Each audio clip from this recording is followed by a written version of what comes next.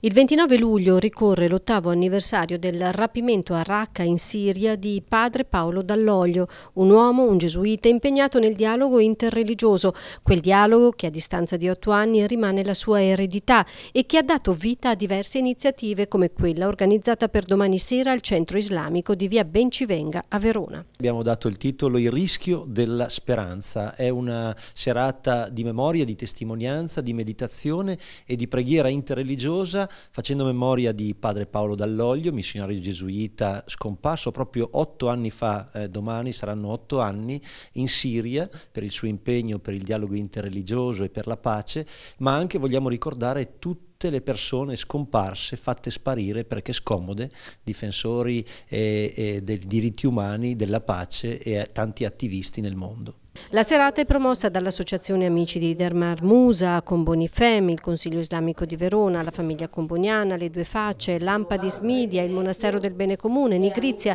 l'Associazione Ponti per lo Scambio Culturale, il Segretariato per le Attività Ecumeniche e l'Ufficio Ecumenico della Diocesi di Verona. Un appuntamento davvero sentito. Secondo la volontà proprio di Paolo non vogliamo concentrare la serata sulla sua figura, ma vogliamo estenderla facendo memoria di tante persone. Pensiamo oggi ai giovani in Nigeria che sono rapiti, eh, pensiamo a tanti attivisti, ma anche religiosi e religiose nella Repubblica Democratica del Congo, tantissimi attivisti in Colombia, persone che sono veramente messe da parte perché scomode, perché leader, perché capaci comunque di mobilitare intere masse di persone, farle pensare con la loro testa e insieme cercare di trasformare una realtà che è sempre più ingiusta e che fa soffrire sempre più persone nel mondo.